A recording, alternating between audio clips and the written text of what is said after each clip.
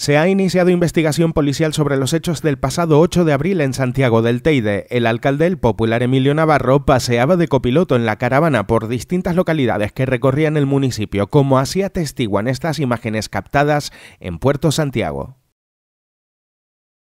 Bueno, la verdad que lo primero pedir disculpas, porque es verdad que ha sido un error por mi parte, pero un acto reflejo que, podemos tener y, que tampoco me puedo neutralizar tan tan tan rápido, ¿no?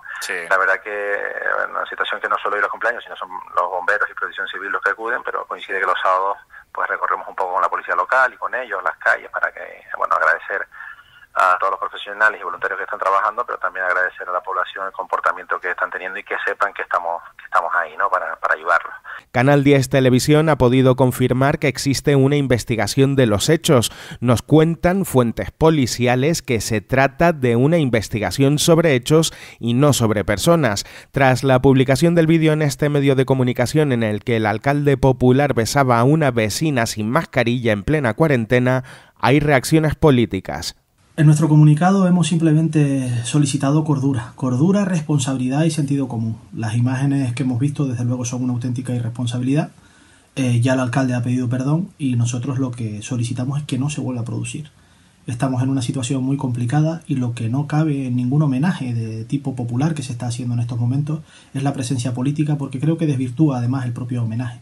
Con lo cual dejemos que los ciudadanos se expresen, que expresen su apoyo y su reconocimiento a sanitarios, a cuerpos de voluntarios, a fuerzas y cuerpos de seguridad, a las personas que nos atienden cada día en los supermercados, en las gasolineras, transportistas, etcétera, pero que, que no se aproveche eso para, para este tipo de cosas, porque cuando se está donde no se tiene que estar, corres el riesgo de verte en un embolado como el que acabamos de ver en los medios de comunicación sin ninguna necesidad. Si el alcalde no hubiese estado en esa caravana, pues no estaríamos hablando de esto hoy, ¿no? Y eso es que hay que tenerlo en cuenta.